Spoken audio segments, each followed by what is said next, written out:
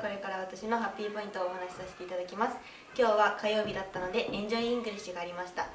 今年もう最後の Enjoy English だったのですが子どもたち12月になってもう3回目なのでもう月いつも毎毎週水曜水曜日じゃない火曜日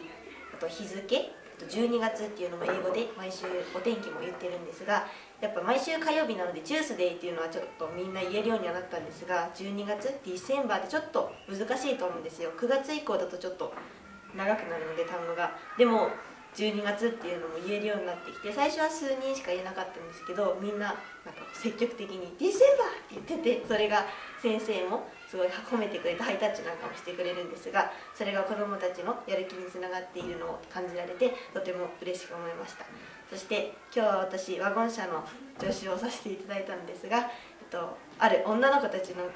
女の子たちがいたんですがなんかいつも黒いお帽子を冬なのでかぶってるんですがそれを取って突然顔にこうかぶせたんですよそしたらなんか「星が見える!」ってすごい言ってて「えなんで星が見えるの?」と思ってなんかシールか何か貼ってあるのかなと思ったんですがなんかプラネタリウムを多分イメージしてたのかずっと「あ星だ